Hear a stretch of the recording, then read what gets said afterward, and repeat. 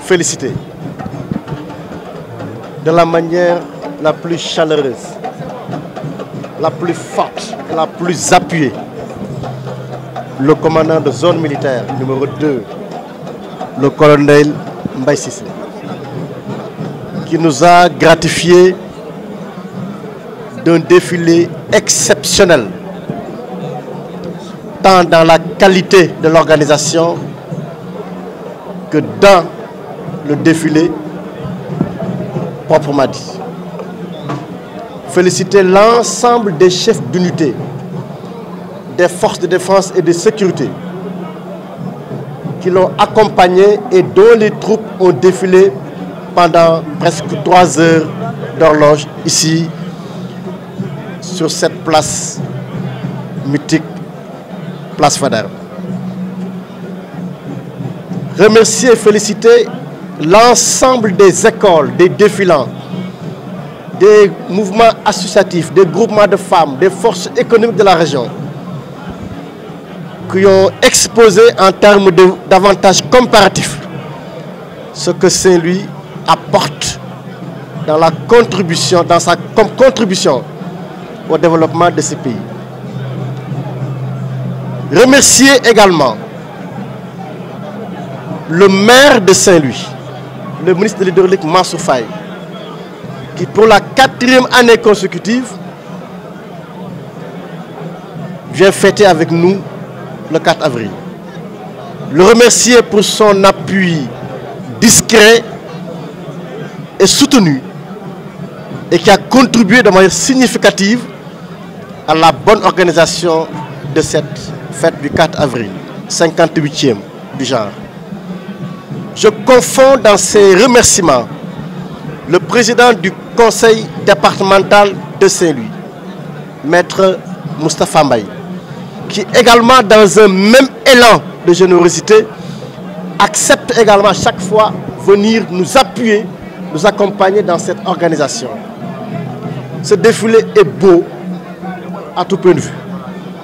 Remercier également le Wali du Trarza qui a également voulu répondre à notre invitation et venir à la tête d'une forte délégation nous venir fêter le 4 avril à Saint-Louis.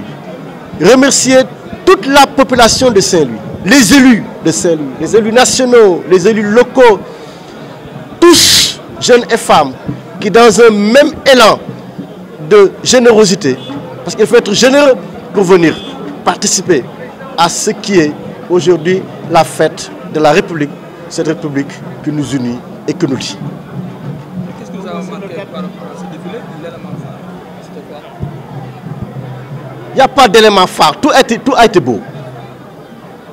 Le commandant de zone militaire aura beaucoup de difficultés à décerner les trophées pour les meilleurs défilants. Parce que tout a été beau, tout a été remarquablement organisé. Je ne peux dire que ça. Par rapport au thème, contribution des forces et de sécurité à la paix et la stabilité internationale, trouve son ancrage dans ce qui fonde notre République.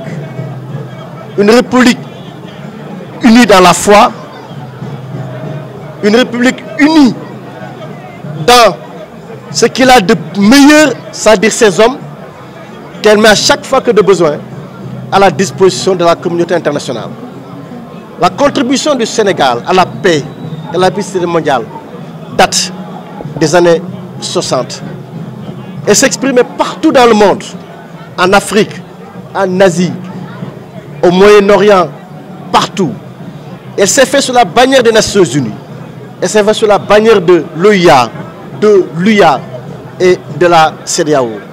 Et tout récemment, elle s'est exprimée au Mali, elle s'exprime encore au Mali et s'est exprimée également dans un passé très récent au, en Gambie pour restaurer une démocratie confisquée. Aujourd'hui, le Sénégal est le, pays, le premier pays contributeur en hommes au Mali et dans des zones extrêmement difficiles. Mais ce qui est rassurant, c'est qu'aujourd'hui, aucun soldat sénégalais aucun officier sénégalais n'est mêlé à ces histoires de viol, etc., pour, les, pour lesquelles, je pense, certaines troupes des Nations Unies ont, ont, ont, ont, eu à, à, être accablées.